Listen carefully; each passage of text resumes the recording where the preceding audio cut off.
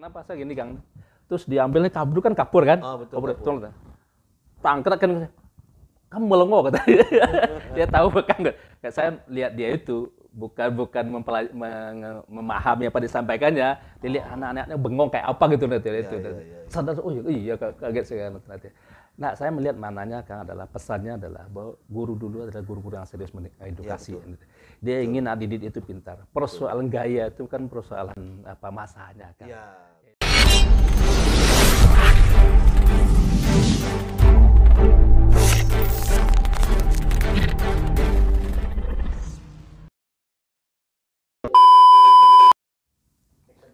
Udah mulai. Eh, assalamualaikum warahmatullahi wabarakatuh. Balik lagi di video Kang Arul di, di channel Dosen Galau TV. Hari ini gue ketemu sahabat teman sama-sama ngajar di mata kuliah yang sama, teman organisasi, Iya. teman bercanda-bercandaan sesama dosen tapi lebih senior. senior yaitu Pak Harmonis. Apa Siap. kabar Om? Ah, siap. Ah, siap. Tapi hati-hati Kang, seniornya hati-hati Kang. Oh, gitu, kenapa emang? Nanti ada plesetannya. Oh, gitu.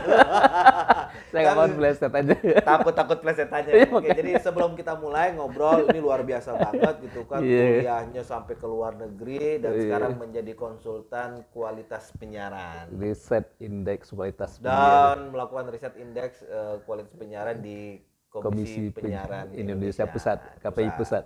Sebelum lanjut jangan lupa subscribe ya, subscribe gitu kan. Komen-komen dan kalau bagus di-share di banyak orang biar mereka mendapatkan cerita yang baik. Pak Harmonis, Ya siap. kita cerita soal masa kecil nih. Masa kecil Pak Harmonis itu kayak gimana gitu? Saya gimana menceritakannya Kang? Saya itu anak desa ya. Nah, Walaupun orang mengatakan itu termasuk secara administratif itu Ah. adalah kota. Oke. Tapi saya melihat budaya desa itu masih kental.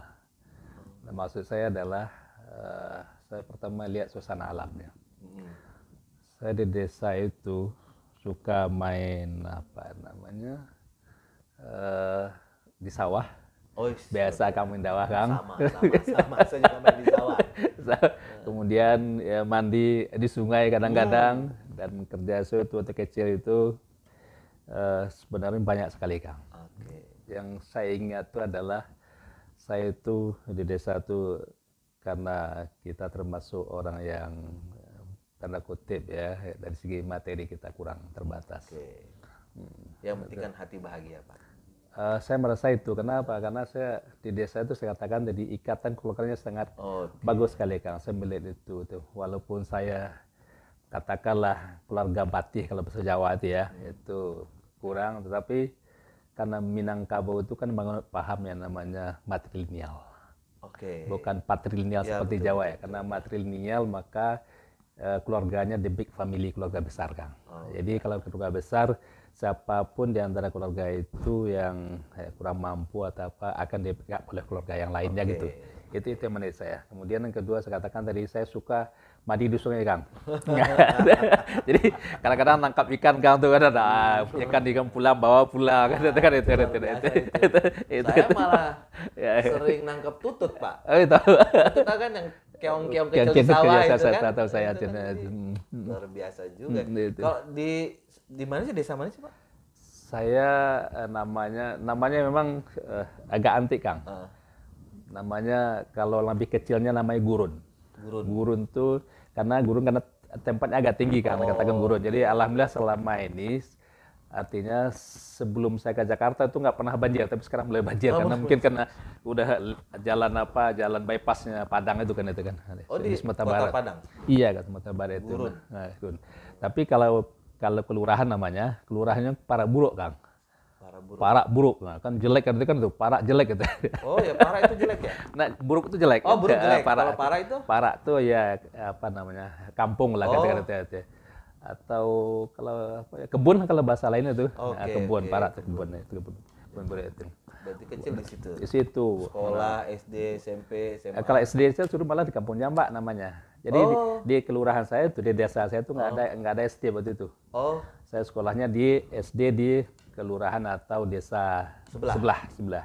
yang namanya Kampung Jambak namanya. berapa kilo jalan?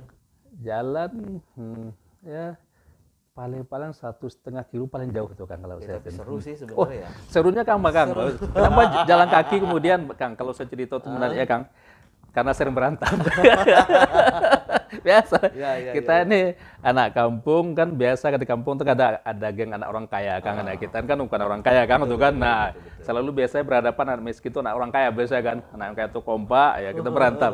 akhirnya apa kang saya tidak lewat di jalan yang biasa saya Oh, lewat gitu. ke kampung jadinya Kampung. ke ke ke, ke apa namanya ke banyak banyak kebun-kebun itu loh itu untuk menghindari supaya nggak berantem ini saya kalau lewat jalan biasa hampir tidak berantem aja kan Gawat nih.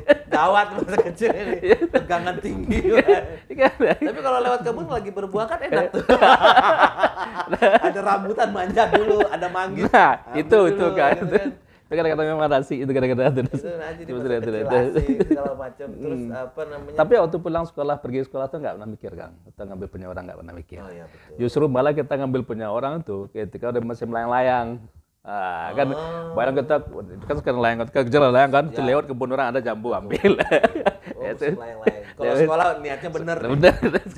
Sampai sekolah niatnya harus bener nih. Godaan jambu, godaan lewat. Nggak lewat. Mungkin Tapi itu kalau mungkin layang-layang, mungkin itu berkah ilmu kali ya. ah, bisa jadi Pak. Nah, saya melihat itu saya Kang. Sehingga apa? Saya merasakan yang nakal-nakal, yang suka menakalin saya tuh Kang, itu sampai sekarang boleh dikatakan ya, ya sekolahnya maaf tidak seperti saya lah gitu kan seperti itu. Ada malah yang jadi satpam, ada yang jadi sopir gitu kan. Nah, itu itu kan itu. Jadi emang saya satu kali ketemu setelah besar Kang, ketika saya aktivis mahasiswa, saya pergi ke Indarung, ketemu yang menakalin saya waktu SD itu jadi satpam di sana. Padahal saya ketemu sama bosnya. Nah, Itu tuh netizen yang baik hatinya kita nggak tahu nih masa depan kita itu mau jadi seperti apa. Iya itu kan. Gitu kan kadang-kadang kalau kita ngeliat orang wah ini orang kaya nih atau ini orang miskin ini pasti akan miskin terus nggak juga. Iya ya, enggak, kan? enggak itu deh. itu itu misteri misteri yang sangat luar biasa. Nah, saya kenal Pak Harmonis ini sebenarnya dari salah satu organisasi ya Ikatan Iya. Sarjana Komunikasi Indonesia. Kemudian kenal lebih dalam lagi ternyata kuliahnya sampai di luar negeri di Iya. Universitas Kebangsaan Kebangsaan Malaysia, Betul, kan. ngambil prodinya apa? Majornya di bidang Eh, fakultinya Social Science and Humanities, kemudian majornya atau di sana namanya kan pusat pengajian. pusat pengkajian. Ah, pengajian media dan komunikasi. Oh, media dan komunikasi. Komunikasi kan itu tema. Disertasinya tentang tentang eh, penyiaran kan, tentang broadcasting, sistem dan regulasi penyiaran itu kan. Dulu kebayang nggak sih Pak Harmonis? Netizen nih, yang BKT-nya sekarang Pak Harmonis ini adalah dosen di Universitas Muhammadiyah Jakarta dan ini adalah ruangan wakil dekan. baru dilantik, baru dilantik jadi wakil dekan. Kebayang nggak dari kecil itu yang sekolah melewati kebun, melewati sawah, mandi di sungai, sekarang jadi dosen dan sekarang menjadi wakil dekan. Jadi konsultan juga gitu kan. Kang, saya itu dulu cita-cita saya cuma dua Kang. Heeh. saya juga nggak tahu siapa yang mengarahkan dan saya percaya memang semua yang kuasa Ya, ya, saya percaya dengan itu. Kenapa? Karena maaf di keluarga saya itu kakak saya maaf pintar-pintar kang. Oh gitu. tapi persoalannya adalah kan tadi faktor ekonomi. Oh iya. sehingga ketika dia sekolah SD kakak saya itu itu dia selalu ya kan apa menunjukin orang kaya dan itu dia dapat duit dari itu. Dan ketahuan sama gurunya maka nggak maka naik kelas susah tuh. Kakak saya nah ada kang tuh maling maling saya tadi terus saya mikirnya apa ya? Saya nggak tahu saya mungkin kata mungkin Allah yang mengarahkan cita-cita saya cuma dua kang Satu pertama tuh saya kalau tidak jadi pengacara jadi guru jadi guru. nah itu saya merasa kedua-duanya ada kemerdekaan kang Oh gitu. yang saya butuhkan adalah kemerdekaan itu. Saya tidak mau kan itu, apalagi karena sering berantam itu kan, kan itu kan itu. Saya ini ini enak banget, udah saya butuh kemerdekaan.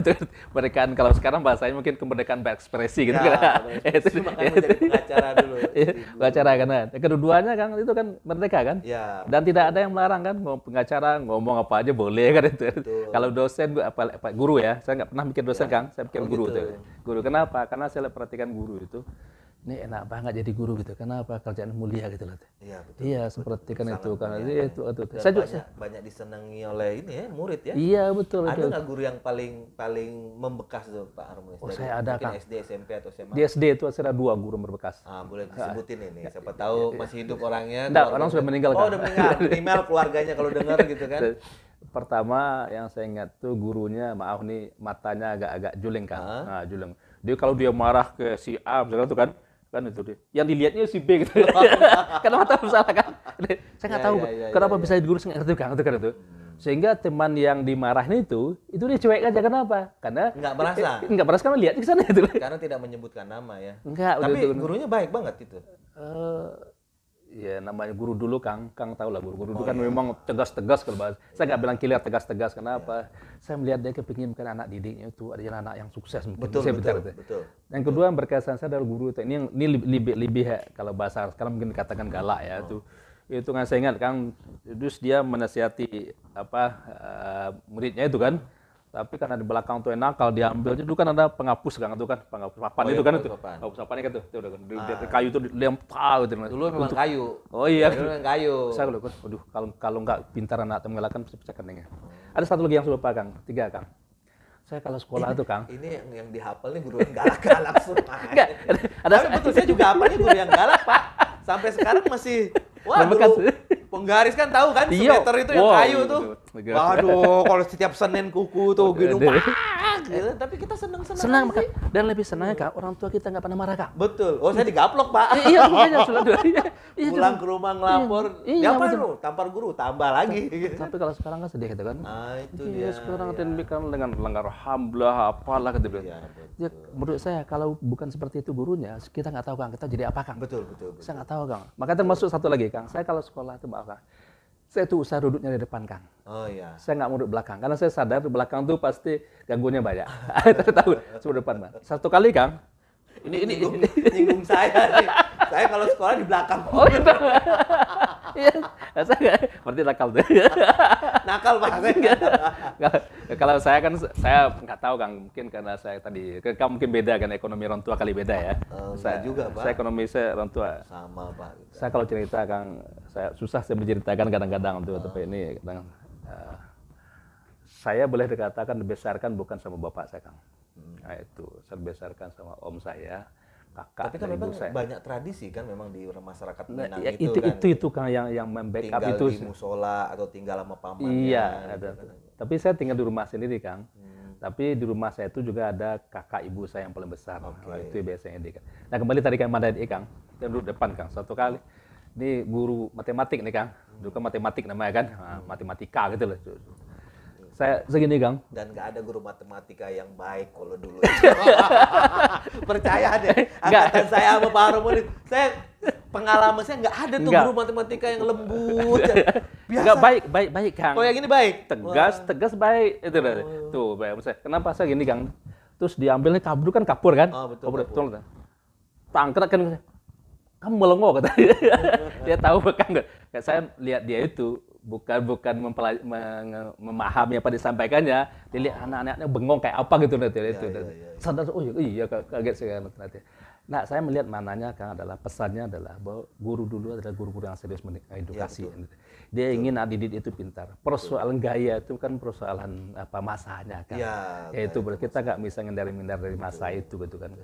Karena waktu itu memang kan undang-undang peraturan segala macam tidak ada yang seperti sekarang kan itu kan. Iya. Dan dan menurut saya saya nggak tahu lah. Saya justru malah setujunya dengan seperti itu kan. Nggak tahu saya. Kan Saya pikir sih sama sih Pak Harmoni dan setuju juga kalau netizen tahu ya tahun-tahun 70 80 Iya. itu kan gaji guru cuma 100 ribu, Betul. Iya, 70 ribu. Tapi dia berdedikasi. betul itu kan. Jarang guru yang meninggalkan sekolahnya gitu lah. Tapi dia tetap berdedikasi. Eh bukannya itu kan. Efeknya adalah ternyata untuk anak-anaknya berhasil kan. Ya, Saya punya mertua itu guru kang. guru Semua anaknya kang boleh kata menurut saya itu berhasil. itu berhasil. Lihat. ya. Kenapa? Mungkin karena tadi kan itu kan Allah akan membalas yang baik dengan yang baik. Betul. Karena dia berbuat baik maka efeknya adalah anaknya itu loh. Itu, itu anak itu gitu. Jadi salah satu contoh murid yang bisa sekolah sampai S3. Eh, itu, itu, itu. Dan gak kepikiran kan mau jadi maha guru, tetap jadi guru tapi sekarang maha guru dosen. Nah, makanya Dosen. ketika saya jadi dosen, eh ternyata Allah tuh luar biasa gitu gitu kan. Jadi saya cuma mintanya guru, ternyata Allah ngasih saya gurunya guru gitu gitu kan. Karena dosen itu kan gurunya guru kan. Gurunya guru. Karena saya makanya saya bilang dalam bahasa agama mungkin fabi ayyi alai rabbikum tukadziban. Nikmat Tuhan apa lagi yang kau dustakan harmonis kata gitu. Harusnya kamu malu sama Allah gitu. Itu kan. Ini ngajar juga di mana-mana, bahkan kemarin ngajar S2 juga di kampung halaman kan? Iya. Ya kan? Di Iya kan. Di, di, Universitas dia- Andalas. Andalas Berapa kan. tahun Pak Harmoni sudah jadi dosen?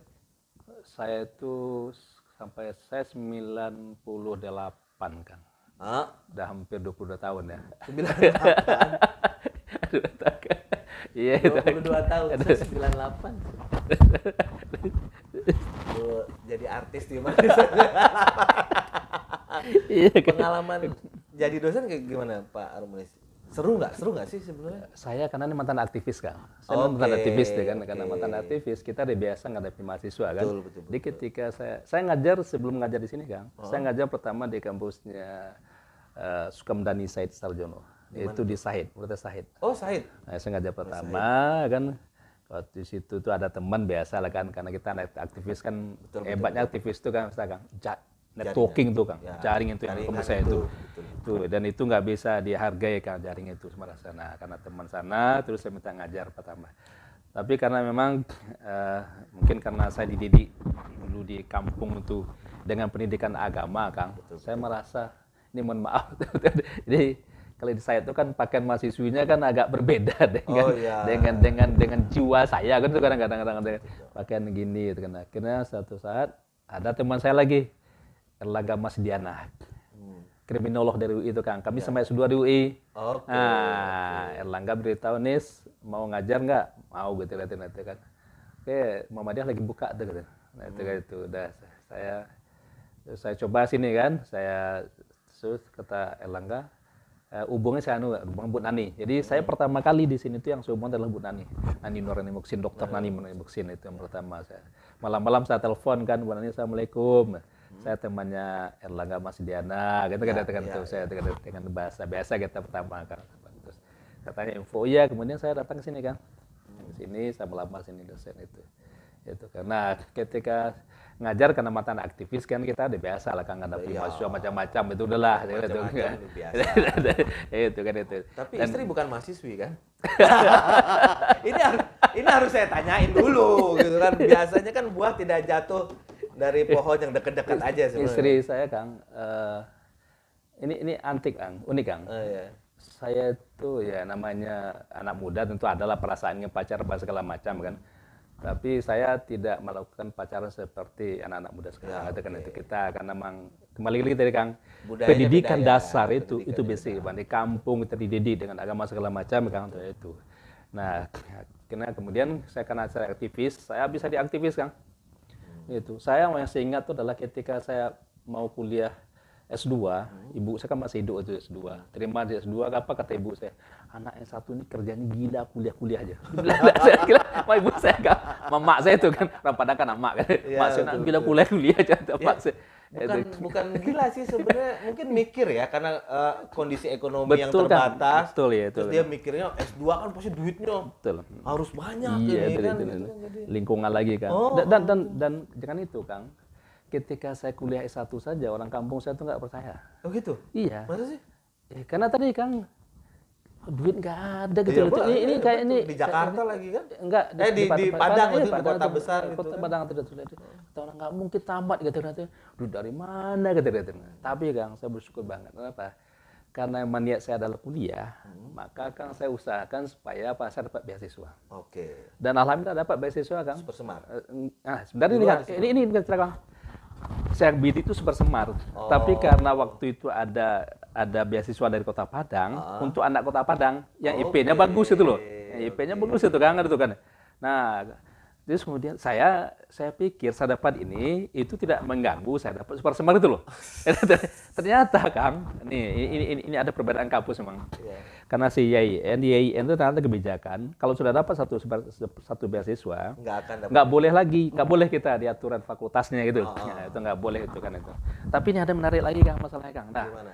nah ini kan, nah saya dapat Padang, kemudian ketika pengumuman Super Semar itu kang bahwa yang da- untuk fakultas dakwah yang dapat Super Semar itu ada 10 mahasiswa. Hmm. Saya kang ranking kedua kang. Wes. Hilang nggak tuh kang?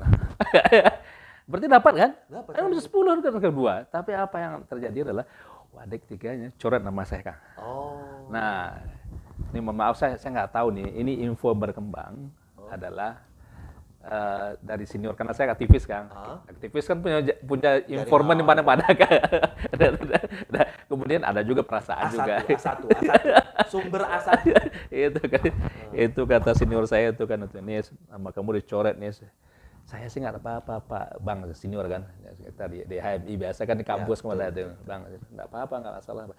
cuma yang saya heran adalah kenapa saya nggak ditanya dulu Hmm. itu saya bilang katakan karena saya tahu saya kan itu kan teman-teman saya yang dapat beasiswa persembar itu itu duit lebih banyak dibandingkan saya Ya, Saya- ya, itu yang sebenarnya. ya, ya, ini kan harus harus proporsional lah sebenarnya malah ya tidak.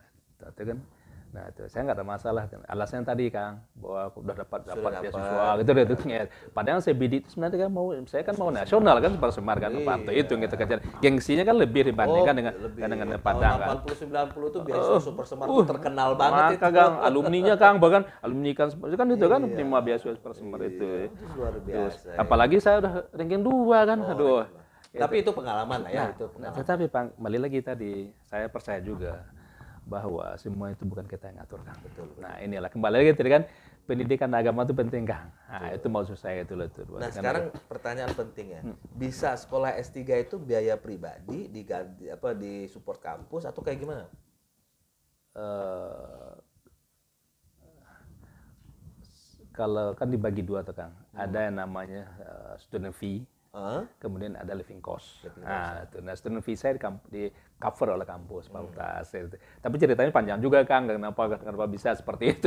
Pokoknya udah kita kita ini adalah gitu Adalah. kampus. Nah, artinya itu. begini, artinya dengan dengan menjalani profesi sebagai dosen mencapai pendidikan jenjang tertinggi memungkinkan kan? Gitu kan. Oh, iya. Meskipun minta maaf Pak Armon secara awal mungkin nggak pernah kepikiran kan. Betul, nggak pernah. S1, S2, S3 nggak pernah kepikiran itu kan. Apalagi orang bilang satu. Tapi ketika orang bilang saya nggak mungkin tambah S1, Kang, Hah? saya termotivasi, Kang. Untuk S1. Pokoknya saya harus tamat. Nggak ada cerita kan itu kan itu. Kan itu harus tamat semangat itu kan apa pun kata orang kenapa. Tadi kan saya kan dapat beasiswa apa kan saya kejar itu kan makanya itu saya jadikan itu sebagai apa ya, cambuk lah. Saya nggak marah juga ke orang itu kan biar dia orang terserah itu. Nah kemudian karena awalnya kuliah saya sebenarnya juga sama kang. Awalnya kuliah itu sebenarnya bukan hanya mencari ilmu kang. Saya sebenarnya membuka networking jaringan. Oh, makanya milih di luar. Nah, makanya ketika saya kuliah, saya jadi aktivis mahasiswa itu loh. Nah, itu makanya Oh, iya, mahasiswa betul. itu Kuliah kan. ini, ini. Jadi di dalam saya juga aktivis, saya, saya pengurus senat di dalam, intra kampus, kemudian di luar saya juga bangun networking dengan banyak-banyak teman-teman melalui organisasi eksar universiter itu kan itu. Universiter saya itu. Nah, dan di situ saya kemudian apa nambah semangat Kang. Kenapa? Saya lihat nih hidupnya mungkin begini gitu, saya harus maju gitu. Nah, makanya ketika teman-teman menawarkan saya untuk ke Jakarta, pengurus mahasiswa Jakarta, saya tuh langsung terima aja Kang. Kenapa? Karena saya mau jaringan saya tidak terbatas itu, itu, itu. Nah di situlah kemudian yang nampak lah jalan ke mana-mana. Kemudian di situ kan mulainya ketika saya di PBHMI, ya, jadi kemudian saya udah nggak mungkin selama PB saya kuliah. Ya, karena saya, saya pikir kalau jadi politisi teman-teman saya lebih jago dibanding saya gitu kan itu. dan kemudian saya lihat saya bukan bakat politisi juga kan itu kan saya lihat. itu, ya udahlah kalau itu saya kuliah loh kan makanya kuliah sudah di UI itu kan itu. Jadi itu netizen yang baik hatinya. Kuliah itu persoalan kita belajar di kampus di kelas, tapi untuk belajar kehidupan kita harus di luar kelas, Betul, itu, harus Kang, di kampus, berjaringan apa pun organisasinya ikut aja Iya, yang betul, itu betul, iya. Nah, gitu kan betul, biar ya. nggak bengong. Hmm, betul itu kan. Jadi jangan jadikan organisasi sebagai apa kan media untuk kita merusak persaudaraan. Nah, betul. Nah, itu penting kasih itu. Organisasi itu adalah tool alat Kang. Alat Organisasi perjuangan. alat. Nah, itu. Makanya yang penting adalah alat itu kita ya kan ya, gunakan sesuai dengan saya bisa alat yang mana gitu loh. Saya cocoknya alat yang mana kita pakai dan itu tidak boleh jadikan apa itu kan benturan satu sama lain itu kan boleh itu. Itu bagi saya Luar penting biasa, Itu. netizennya baik Budinya. Dapat banyak pelajaran saya hari ini. Terakhir Pak Armonis, Iya, siap Kang ya. pengalaman yang paling terindah menjadi dosen apa itu? Yang bagi saya kan tadi kan kemerdekaan Kang. Kemerdekaan. Iya, saya ngomong apa saja, nggak ada yang larang Kang. Oh ya. Dan sesuai ternyata dengan apa kebutuhan saya ketika saya kan itu kan saya bercita-cita dulu. Pokoknya saya perlu itu adalah saya merdeka kan untuk ngomong apa saja gitu. Nah, selagi yang saya sampaikan itu sebuah kebenaran. Betul. Nah, iya. Apalagi kalau akademisi ngomong kan. Iya Kang, Ada saya, teorinya, ada konsepnya. Iya. Dibayar. kerjaan apa yang paling enak? Oh iya betul kan? Betul. Kita mau ngomong dibayar lagi. Kadang-kadang kadang-kadang marah-marah kan. Kadang-kadang, iya kadang-kadang marah-marah juga. Eh tetap dibayar tiap bulan. Oh saya mengalami di KPI itu marah-marah Kang sama itu kan. Eh tahu aja bayar sebelah. Saya nggak peduli mau anda pecat, ah, saya nggak ada peduli sekali itu. Oke, Jadi Terbaik itu konsultan. netizen yang baik hatinya.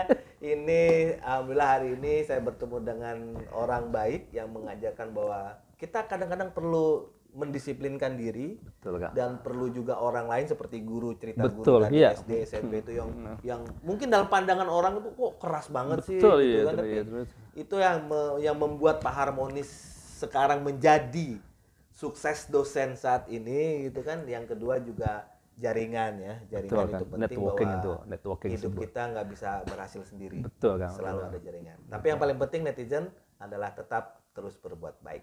Betul. dadah. Bye. Khairunas, khairunas man anfaulinas. nah. Yang terbaik yang yang yang terbaik adalah yang paling bermanfaat. bermanfaat bagi